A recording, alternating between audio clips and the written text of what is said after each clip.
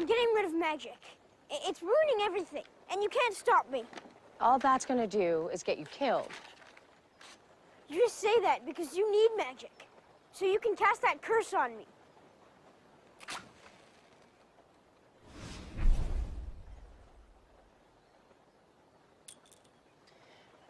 I can't lose you, Henry. You mean too much to me. Then don't cast the curse. Don't kill Mary Margaret. Henry, she has to pay. The curse. It won't make me love you for real. It'll be fake. It will be something. I know it's hard for you to understand right now, but you'll see.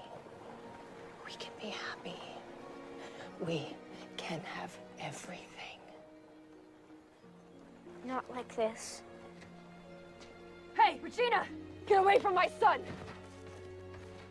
He's not yours, he's mine. And after I cast this, you'll never see him again. That's never gonna happen. You want to kill Mary Margaret? You're gonna have to go through us. Okay?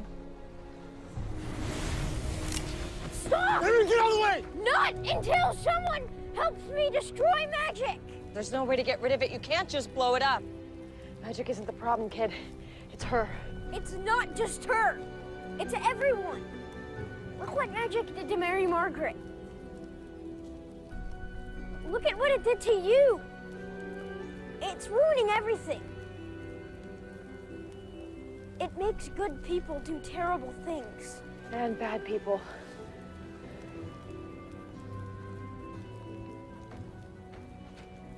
Please. It's gonna destroy my family. Help me get rid of it. I can't do that, Henry. But there is something I can do.